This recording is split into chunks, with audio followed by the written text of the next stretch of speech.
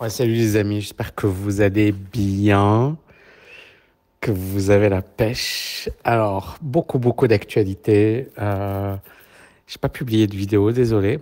Euh, J'étais très, très, très euh, occupé. Et je le suis toujours d'ailleurs. hein. Je bosse sur. euh, j'essaie de finaliser Dividend Mastery. Donc, j'essaie de pas m- trop me disperser. En plus, il y a des opportunités de malade sur la partie dividende. Ça commence à être truc de fou, quoi. On est sur des, des moments, des, des, des rendements euh, historiquement élevés sur certaines actions. Et, euh, et ça, c'est intéressant pour un investisseur à long terme. C'est très, très intéressant. Et justement, quand on lit Jérémy Grantham, alors moi, ça me fait sourire, hein, j'ai envie de faire une vidéo dessus. Euh, ça me fait sourire parce que Jérémy Grantham, il est investi, hein, il, il a acheté des actions. Et, et ce qu'il dit n'est pas forcément faux, c'est-à-dire euh, ça peut arriver. Je ne sais pas si vous avez vu ma dernière vidéo, je vous avais dit, euh, tant qu'on n'a pas cassé certains niveaux, il faut pas paniquer. Et pour le moment, le marché, il tient super, super, super bien. Moi, les cracks, j'adore. Et j'adore au sens euh, intellectuel et, analyse de la chose. Je suis pas très haussier pour des raisons évidentes. hein. Qui est haussier aujourd'hui? Euh, C'est la fin du monde, les banques, on ne sait pas s'il va y avoir d'autres banques qui vont faire faillite, etc. C'est choses qui se passent aujourd'hui. Donc je suis euh, pas en mode euh, ouais, euh, il se passe rien, d'accord. Mais le marché ne s'effondre pas, il tient super bien.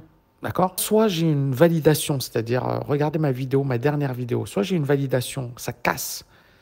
Et là, clairement, on est dans un crack à la grande table, c'est-à-dire on va avoir un 50% de baisse parce que, parce que là, ça y est, euh, c'est-à-dire euh, quand on voit des actions comme Google, euh, Microsoft, il y a plein d'actions, Zoom, PayPal, bon, il y a des actions, elles se sont littéralement effondrées où elles ont perdu 40, 50% de, c'est quand même beaucoup. Hein. Mais si ces valeurs, par exemple, prenons Google, Google, ça casse par le bas, sachant que Goo- Google, c'est une action qui est extraordinaire, ça voudra dire que le marché pue.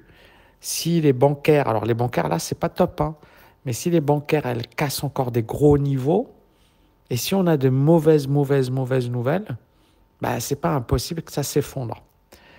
Maintenant, euh, moi, je, moi, je pense, je ne sais pas si vous avez lu mon email d'aujourd'hui. Je pense qu'il faut être un joueur d'échecs. Il ne faut pas être un pion, il faut être un joueur d'échecs. Un pion, c'est euh, ouais, ah là là, c'est la panique, et puis oh là là, il faut acheter de l'or, euh, puis oh là là, le bitcoin. Et là, on est en fait un pion. Euh, C'est-à-dire, euh, en fait, on se fait balader par les marchés. Un joueur d'échecs, il se dit tout est possible. Bah, Ça peut monter, ça peut baisser, ça peut faire du. Tout est possible. Et en fait, euh, il faut être prêt. Ça monte, bah, j'ai quand même des billes. Ça s'effondre, j'ai quand même du cash. Et donc, je vais, par exemple, si j'ai pris des positions, je vais les renforcer. Si ça fait du surplace également, il y a des stratégies qui sont adaptées. En fait, il faut être un joueur d'échecs. Et là, moi, je vais reprendre notre ami euh, Warren Buffett. Warren Buffett, qu'est-ce qu'il dit? Il dit la chose suivante. Il dit, je ne sais pas ce qui va se passer. Mais ce que je sais, c'est que euh, on peut valoriser un actif. Et si on considère que l'actif il est pas cher, il faut commencer à l'acheter. Et donc Warren Buffett, qui est quand même le plus grand investisseur de tous les temps, vous n'allez jamais le voir dire ouais le marché va baisser de 50%. C'est pourtant le plus grand investisseur de tous les temps. Et pourquoi? Parce qu'en fait lui euh, il s'en fiche quoi. Il, il- il sait que si le marché s'effondre, eh ben, il va acheter, il a du cash. Si le marché monte, il est déjà investi. Et vous voyez, c'est un joueur d'échecs. Et c'est c'est là où il a tout compris.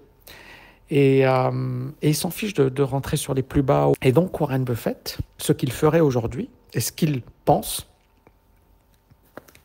c'est très clair. C'est tout est possible. Le marché, peut s'effondrer, peut faire du surplace, il peut monter. Alors moi, j'ai le côté, je combine l'analyse technique et l'analyse fondamentale. Warren Buffett, il n'est pas bon en analyse technique, mais il s'en fiche. Et je veux vraiment que vous compreniez un truc. Lui, il s'en fiche. Euh, le mec, il peut te faire bouger le marché. euh. Mais moi, j'analyse. Et quand je dis, par exemple, voilà, c'est la fin du monde et le marché fait du surplace, on est bien d'accord que c'est le cas. Donc, quand c'est la fin du monde et que le marché il s'effondre pas, ça veut dire qu'il y a des acheteurs.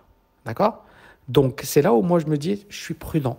Maintenant, euh, je suis pas hyper haussier, mais si jamais c'est là où on va avoir des mauvaises nouvelles, etc. Ça casse. Mais euh, moi, j'ai quand même mis des billes parce que voilà, j'ai également des protections avec des options. C'est-à-dire que si jamais ça se casse la figure, je ne vais pas perdre grand-chose. Et, je commence à accumuler, à, repérer mes titres, c'est-à-dire euh, quelles sont les valeurs sous-évaluées, quelles sont les valeurs intéressantes, quelles sont les valeurs que j'ai envie d'acquérir aujourd'hui. Et même si ça se casse la figure, je m'en fiche parce que ces valeurs, elles sont déjà très bien valorisées et ça peut encore baisser, mais, euh, mais j'aurai un bon prix. Et j'ai un horizon de temps de 5 ans, 10 ans. Ça veut dire quoi? Ça veut dire que si jamais ça s'effondre et que j'ai acheté, euh, eh ben, c'est pas grave. Euh, soit je vais renforcer, soit euh, moi je vais pas sortir de mes positions parce que j'ai la conviction que mes actions sont bonnes pour telle telle raison. J'ai bien évidemment mes protections. Donc vous voyez, on est dans, la stratégie, on n'est pas dans euh, du mot, j'investis n'importe comment, etc. On est, voilà, il y a une stratégie derrière. Il faut y croire.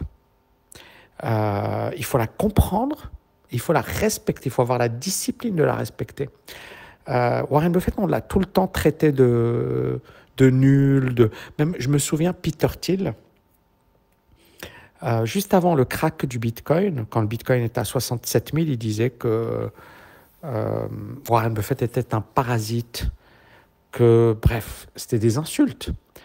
Et euh, pourtant, euh, là, le Bitcoin s'est effondré. Peter Thiel, c'est pas n'importe qui, c'est l'un des plus grands investisseurs. Euh, il avait investi dans Meta, Facebook au tout début, etc. Donc c'est un très très bon.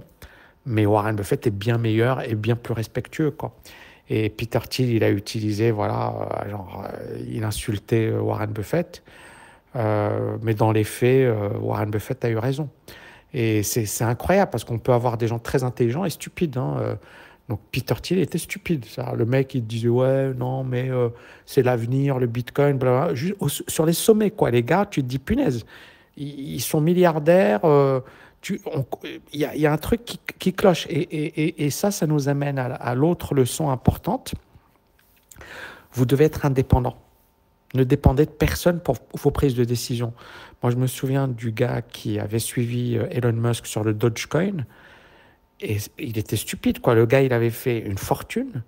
Et au lieu de se dire, ah ben, euh, euh, je prends mon fric. Non, non, je garde parce que j'ai confiance en Elon Musk. Mais c'est d'une débilité. Euh, Elon Musk lui-même, il ne sait pas ce qui va se passer. Moi-même, je ne sais pas ce qui va. Personne ne sait ce qui va se passer. Donc Warren Buffett le dit lui-même, je ne sais pas ce qui va se passer. Donc à un certain moment, c'est-à-dire, il faut juste avoir une stratégie, une méthode, bien travailler ses actifs, avoir une vision long terme être discipliné. Euh, mais c'est ça le plus dur. C'est ça le plus dur. Euh, il y a beaucoup de gens qui vont dire ouais, euh, tout est gratuit sur Internet, mais c'est pour ça que très peu de gens investissent. très peu de gens perdent du poids, très peu de gens deviennent musclés. Tout est gratuit sur Internet, c'est clair. Mais qui fait l'effort d'apprendre, de progresser, de s'améliorer? Très peu de gens. Et, et j'écoutais tout à l'heure Jean-Claude Trichet c'était l'ancien euh, gouverneur de la Banque Centrale Européenne euh, et de la Banque de France, d'ailleurs. Et Jean-Claude Trichet, il a dit la chose suivante. Il a dit euh, les actions françaises, il y, a, un, gros actionnariat étranger. Et il disait les Français n'investissent pas beaucoup en bourse.